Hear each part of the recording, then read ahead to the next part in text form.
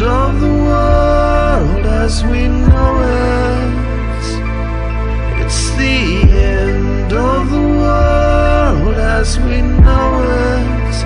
And I feel fine.